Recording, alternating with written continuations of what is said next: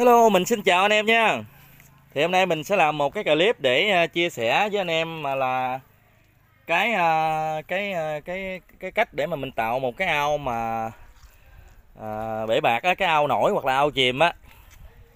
Là để chúng ta nuôi con cá gô đầu nhím bố mẹ là để cho nó đẻ luôn nha các bạn. Là cho nó đẻ luôn. Thì hôm nay mình là chia sẻ tận tình với anh em là cái cách để nào mà tạo cái ao nước cho nó đẹp. Mà nó đẹp như thế này. Đây là ao này là cá gao nhúc nha các bạn. Nè bạn thấy nước nó trong chưa? Nó trong kinh khủng luôn á. Đó. Đây là gao nhúc. Đây là thì à, các bạn có thể làm bể chìm. Bể chìm là bể bạc chìm là chúng ta là đào đất rồi chúng ta mới là âm bạc xuống. Cái thứ hai là chúng ta làm bạc nổi. Là chúng ta làm cái khung như thế này. Khung đây nè. Đó. Cũng y như ờ, như là bể bạc ở trên. Nhưng mà cách để chúng ta có một cái ao thủy sinh đẹp như thế này. Thì các bạn phải làm như thế nào để cho cá rô nó có cái môi trường tự nhiên. Thì nó sẽ đẻ thôi nhưng mình nói với các bạn là đây là những cái à, mô hình là đẻ là đẻ đẻ tự nhiên nha. Thì cái số lượng đẻ, cá nó đẻ là sẽ không nhiều, đạt là không nhiều nha anh em. Vì nó đẻ môi trường tự nhiên thì cái tỷ lệ đạt nó rất là thấp, nhưng mà cũng vẫn đẻ được. Giống như hôm trước có anh em có kêu mình á, có một bạn hay bạn, vài bạn á, là kêu mình làm cái clip để chia sẻ cái à, cái cái cái cách làm cái ao để cho mà con cá rô nó tự đẻ, nó sống á, nó tự đẻ. Thì hôm nay mình sẽ nè, anh em thấy bèo không? Bèo nó rất là rất là tốt luôn. Nè, anh em thấy nước trong không? Đó. Thì các bạn biết tại sao mà cái ao mình làm trên bể bạc mà nước nó tốt mà nó có bèo nó sống như thế này không? Mình bảo đảm với anh em là anh em làm tự nhiên thì cái bèo nó sẽ không bao giờ bự, không bao giờ bự như bể lớn đây. Nó sẽ èo ọt rồi nó sẽ chết luôn thì hôm nay mình chia sẻ là cái này là cái cách à, dân gian thôi nha. Tự nhiên thôi. Khi anh em cho à, nước vô như thế này thì ở trong ao không có đất thì chắc chắn nó sẽ không có thể sống lâu được. Những thủy sinh này không có sống lâu được. Cái ao này mình có thả ba ba nha 100 con ba ba. Và cá bảy màu tự nhiên để tôm bò mình súp mấy con cá cơm đó đặng cho đặng cho làm thức ăn cho con, con ba ba. Nhưng còn cái ao bên kia cao bên kia thì mình nuôi cá gô đẻ mà tự nhiên đó nha các bạn cá gô đầu nhím nha. Thì à, các bạn làm tùy theo diện tích lớn nhỏ các bạn cứ làm thoải mái bình thường. Đó. Thì à, lục bình này là mình vớt ngoài sông nè mình đem về nhà mà nước mình là nước mặn nha mình đi cỡ mấy chục cây số cỡ hai chục cây số mới vớt về được. Đó lục bình này nó tốt ghê không? Thì à, các bạn cho đất nó vô đây các bạn muốn cái thủy sinh nó tốt thì các bạn phải cho đất. Cho đất một lớp nè các bạn thấy đất không? Đây. Đất đây là rau dừa, nó sống luôn nè. Anh em thấy không? Các bạn nhớ kỹ là cho đất một đoạn nha. Đây. Đắp các bạn biết không? Đất nè. Đó. Anh em thấy đất chưa? Nè, đây đất. Này là rau nó sống hết trơn là mấy cây này. Cái gì cũng biết nữa. Các bạn đắp đất xung quanh hết cho nó chài ra giữa một lớp cỡ khoảng ờ, gần một gan còn nếu ờ, ở ngoài bìa giáp với cái thành của cao su của mình á, thì các bạn sẽ cho nó nó cao lên luôn, cao lên khỏi mặt ao luôn, cao lên khỏi cái cái mặt nước là có khoảng một gan giống như cái bờ giả của mình ở ngoài vậy đó, nè, giống như cái này nè, nó lên cỏ lắm hết trơn. Nè, các bạn hiểu chưa ý mình nói chưa nè? Các bạn làm cái cái bờ đất vậy nè, đắp nó lại lại cái gì nè. Thì cái ao mình này mình dọn cỏ lâu không ngày mình để cho nó tự nhiên. Tự nhiên thì nó mới lớn nha các bạn. Cái đó là mình nói thật sự nha. Các bạn để cho cái ao nó tự nhiên á, thì con cá nó thủy sinh nó tự nhiên thì con cá nó mới đẻ thôi. Còn mà các bạn để cái bể bạc nó trống trơn nó không có cái gì tự nhiên không có cái cái cây cỏ gì thủy sinh á, lục bình hay là rau nhút hay là bông súng gì cái thứ. Thì không bao giờ con cá nó đẻ nha anh em. Cái đó là mình nói thiệt đây là mình dọn bớt quá trời nè. Xung quanh nè, bò lên. Ở đây là mình chia sẻ, không nó gói tung cho anh em nghe thì góp ý lụm lặt lại cho em ha. Nhiều khi em đang, đó. Các bạn phải đắp đất nó lại lại ra. Giống như ở đây là mình đắp cái bờ đất nè, cái bờ đất nó cao dần xuống. Đó, để mình qua đây mình chỉ cho anh em cái ao ốc bu à, đen của mình, để anh em tham khảo cái cách.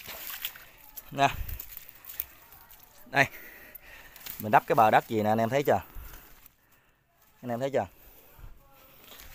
Để mình rửa tay, mình lấy cái tay này, mình cầm cái máy, cái tay kia, mình chia sẻ với anh em. Bên này là ao ốc của mình, ốc bu đen nè, anh em thấy cái mí đất nó chưa? Cái mấy đất của su đây nó phải cao hơn cái cái cái cái cao su. Và mực nước thì nó, mực nước thì nó thấp ở dưới kia. Đó, mực nước thì nó nằm ở đây. Đó, bên đây là mực nước nó nó gì? Anh em cho nó dần thấp xuống thấy chưa? Đó. Thì các anh em đắp ba bên cũng được. Thì chừa một cái đầu đằng kia nha anh em. Chừa một cái đầu đằng kia, tức là mình chừa ở một cái đầu nào đó để mà có cái ống á, là mình xả nước ra, là cái đầu này. Tức là cái đầu này chúng ta không có, để mình lội vô trong luôn. Cái đầu này là chúng ta không có không có đắp nha anh em. Đắp lại là bít cái ống xả nước ra. Cái ống xả đáy rồi làm sao mà mình thay nước nhiều khi nước nó sẽ dơ, lâu lắm không dơ nhưng mà mình làm cái môi trường tự nhiên á, cho cá gô đẻ thì nó sẽ không bao giờ dơ nha anh em. Cái này là mình hồi làm tới giờ mình chưa thay nước lần nào luôn á. Tức là cái ống nó đây nè anh em. Đây là cái ống xả tràn nằm đây nè. Đây nè. Anh em thấy không? Nó độ nó sâu quá. Đó, thì bây giờ mình sẽ quay lội vô đây luôn. Lội nước sâu nè anh em thấy không? Cả năm tấc trở lên nha anh em. Ốc bu đen này đây nè ốc bu nè. Mình có nuôi ốc bu số lượng ốc bu cũng cũng lai gai trong đây. Nè lớn hết trơn nè. Thì anh em á muốn cho cá gô nó đẻ nè ở đây mình trồng bông súng. Thì các bạn muốn có một cái bụi bông súng nó nó, nó chất lượng á thì anh em đưa cái cái cái chậu ờ, 90 nha. Cái chậu 90 mà chậu đen ờ, bán ờ, hình như là 15 ngàn cái thì chúng ta đổ đất tốt đầy vô đây cái đầu trồng bông súng. Mình tạo cái cái thủy sinh cho nó. Đây nè có bông súng. Đó bông súng cái thứ. Rồi đầu đằng kia là đất. Mình đắp lại dần ở đây. Hai bên mé cũng có đất hết. Đất hết đất hết. Cỡ khoảng gan đất. Đằng này là nước. Ờ, trồng rau nhút vô các thứ nè. Nhút non cỡ này nè. Thì anh em nên nhớ là muốn cho con cá gô nó đẻ tự nhiên. Thì anh em phải thả rất là ít nha thưa nha. Ví dụ như mình thả có khoảng ờ, đây nè, quá trời ốc bu à. mình đạp ốc nhóc trên mình thả có khoảng 10 con.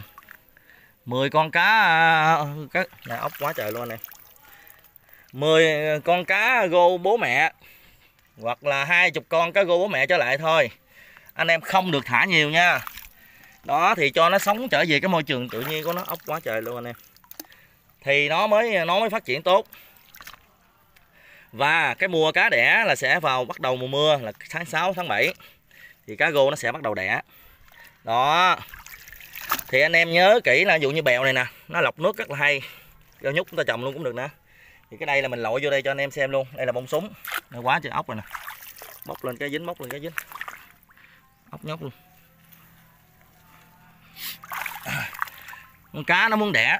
Đây là ốc này chúng ta thả một mớ ốc bu vô đây cũng được.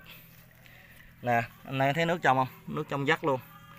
Thì con cá nó sẽ đẻ đừng có nuôi ba ba lộn vô cá gô nha. Cá gô đẻ ra như cái ba ba lụm hết á. Để mình lội vô đây cho anh em xem luôn. Đây nè. Tới đây là tới mí đất rồi nè. Đất nó lại tới đây nè. Đây là môi trường mình thả con ba ba cho nên mình làm cái môi trường nó nó tự nhiên vậy nè. Nước nó trong cỡ này luôn nè anh em, thấy không? Trong vắt luôn. Đó, là nơi ẩn trú cho cá gô. Nó phù hợp với cá gô đẻ nha anh em. Các bạn nuôi là phải nuôi tự nhiên. Thì cái này chúng ta làm âm xuống đất cũng được mà có diện tích đất chúng ta đào rồi chúng ta dằn đất cho nó nó đẹp. Rồi không có cây cối đừng cho lũng bạc. Và chúng ta cũng làm ống xả tràn đó bây giờ mình qua bên đây cho anh em xem. Cái ao bên đây là mình nó cũng nó cũng đẻ rồi bữa đẻ mà đẻ ít à đẻ tự nhiên thì đó đó cũng là bông súng đó, anh em thấy không? Là bông súng nó lên tự nhiên luôn mình cũng trồng. À, giờ đây là cái lớp đất của mình. Đây ốc bu quá trời nè anh em thấy không nè nước trong gieo nè. Đó rau muống à, ốc nè anh em thấy không? Ăn súng nè anh em thấy không? Đó. Anh thấy chưa? Thì cái môi trường này là con cá gô nó sẽ rất là dễ đẻ. Nó đẻ ra tự nhiên đẻ chứ không có không có ép nha, không có cá bột nha, không ép trứng nha. Thì cái này là dành cho những anh em mà ở xa. Chúng ta mua được cái con cá gô bố mẹ, cá gô mà thịt á, mà loại cá tốt á, cá bự khỏe, mình về mình mình mình thừng nó một hai hôm, thừng với nước, cái ao mà mình sắp nuôi á thì trước khi mình nuôi á mình phải làm một cái ao đẹp và thủy sinh đẹp như thế này. Thì mình hãy thả cá xuống thả cá bố mẹ xuống nha. Chứ đừng có có có để ờ, nước mới rồi bắt đầu thả xuống liền thì con cá nó rất là khó đẻ và khó sống. Nó là như vậy. Còn cái vấn đề mà cá bột ép á, thì anh em bên đây làm nghề người ta không có chia sẻ với anh em được.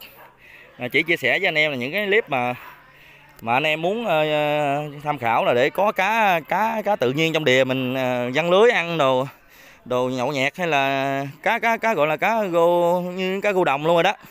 Thì anh em sẽ có cái nguồn cá tự nhiên. Nha anh em, đó như cái ao này mình làm tự nhiên rồi nè. Đó, cái bạc chìm. Là cá gô nó vẫn đẻ hàng tháng, hàng năm nha anh em. Chứ không bao giờ mình thả thêm cá giống vô đây nha. Đó, lâu lâu mình câu, mình văng, câu dính cá bự lên kho kho tiêu. Rồi bắt đầu là mình à, nấu canh chua. Đó rồi bây giờ mình chia sẻ với anh em là mình nói là cá gô là đẻ không nhiều nha. Đẻ tự nhiên là không đẻ nhiều được. Mình chọn những con cá gô thịt nó bự đẹp. Mà cái lỗ gúng nó bự á thì á, chúng ta về thả là không bao lâu nó đẻ. Thì đó bây giờ mình chia sẻ với anh em là nhiệt tình như vậy đó. Hy vọng là cái clip này mà có hay á thì nhờ anh em chia sẻ giùm mình ha. Rồi rồi xin cảm ơn à, anh em rất nhiều. Chúc anh em sẽ thành công nha.